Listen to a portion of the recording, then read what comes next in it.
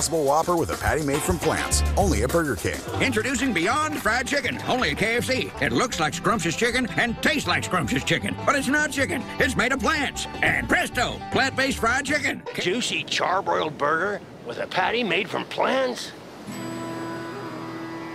Only the folks at Carl's Jr. can pull off something that bold. All the legendary flavor, none of the meat.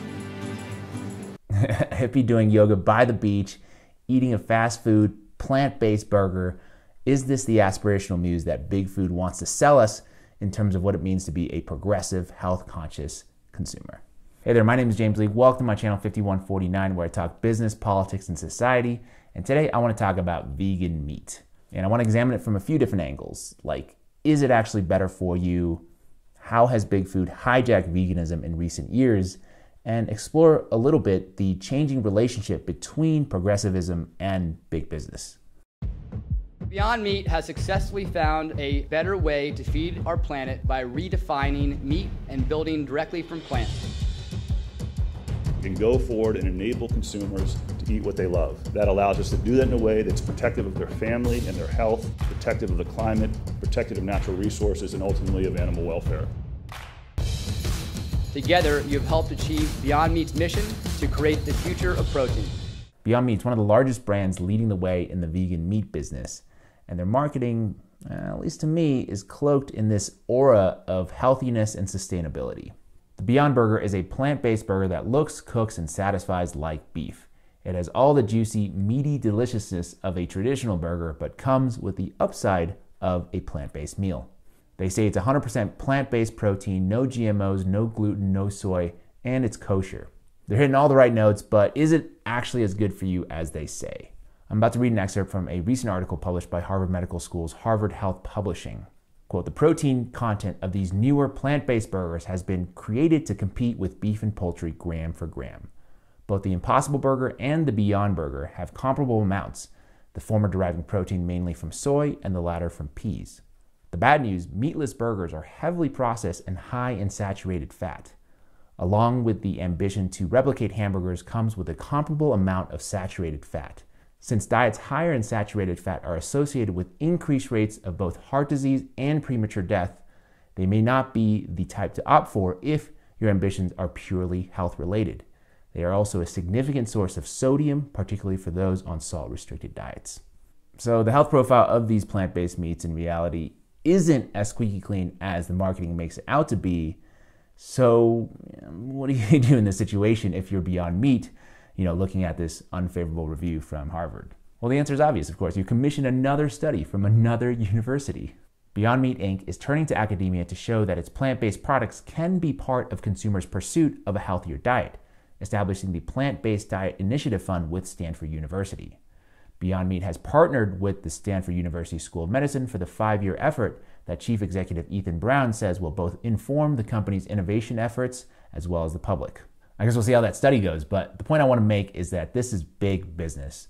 Huge. According to some forecasts, the market value of plant based meat will triple in just a few years to an estimated global market value of $35.5 billion by 2027. And because it's big business, the desire to sell more and more vegan burgers and other plant based meats because your investors and shareholders demand it supersedes other priorities and forces what might otherwise be a well intentioned company to make sacrifices uh, that may compromise their purported mission and values.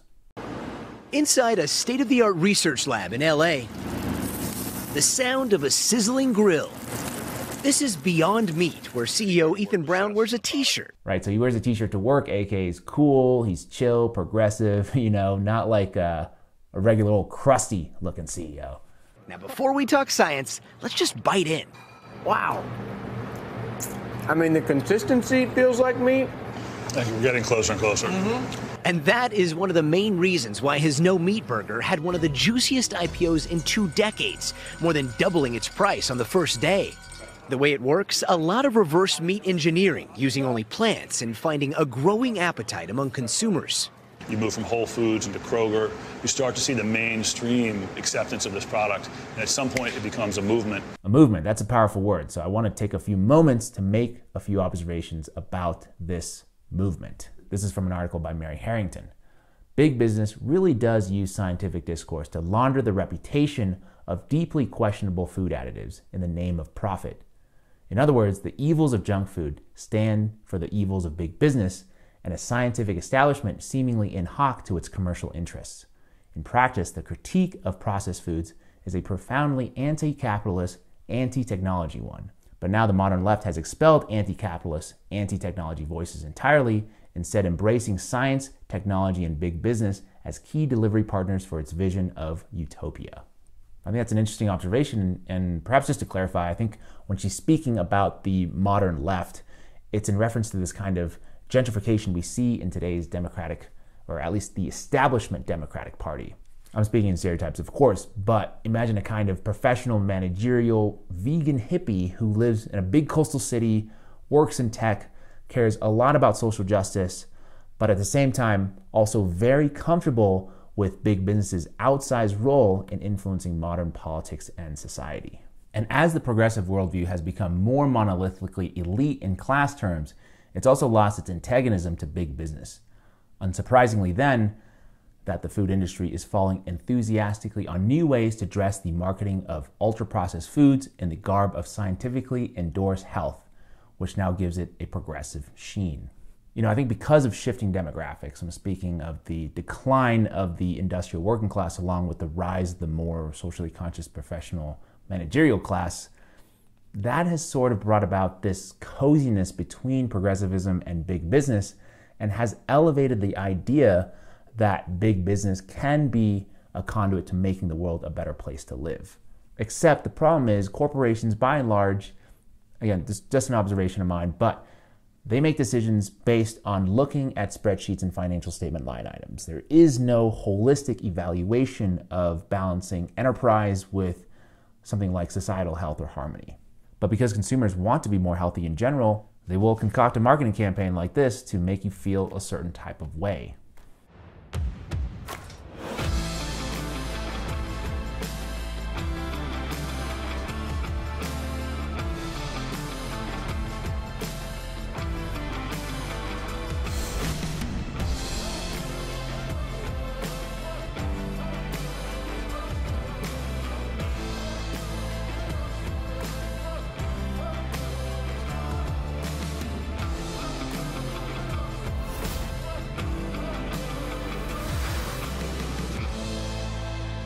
Full disclosure, I'm not vegan, but I'm still interested in decisions that I can make in my life to be a bit more healthy. So when this plant-based meat trend really took off a few years ago, I actually for a period of time started ordering Beyond Meat, and Impossible Burgers, and things like that at restaurants, thinking it was doing me good.